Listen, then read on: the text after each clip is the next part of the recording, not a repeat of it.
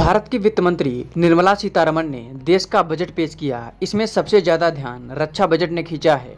भारत ने इस साल रक्षा बजट के लिए चौहत्तर बिलियन डॉलर का अमाउंट रखा है, जो वाकई में बहुत कम है। चीन जैसे देशों के रक्षा बजट के सामने ये कुछ भी नहीं है। हालाँकि पिछले वर्ष की तुलना में भारत ने इस साल अपने रक्षा बजट में कुछ बढ़ोतरी की है। भारत का वर्ष 2023 में रक्षा बजट बहत्तर बिलियन डॉलर था, जो वर्तमान में बढ़कर चौहत्तर बिलियन डॉलर के करीब पहुँच चुका है।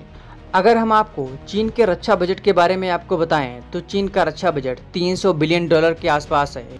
कई जगह तो ये तक कहा गया है कि चीन अपना रक्षा बजट छुपा रहा है। असल में चीन का रक्षा बजट 700 बिलियन डॉलर के करीब है।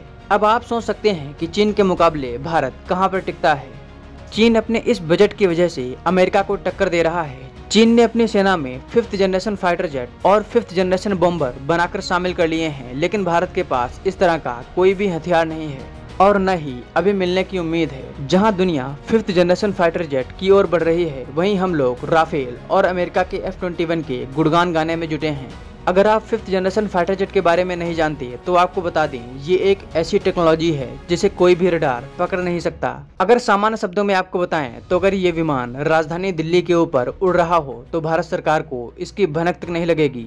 अब आप अंदाज़ा लगा सकते हैं कि ये टेक्नोलॉजी कितनी घातक है। चीन के पास इस तरह के 200 से ज़्यादा विमान हैं और भारत अभी भी इस तकनीकी के आसपास भी नहीं है। दोस्तों, आप लोग कमेंट बॉक्स में ज़रूर बताइएगा कि भारत के डिफेंस बजट को आप कैसे देखते हैं।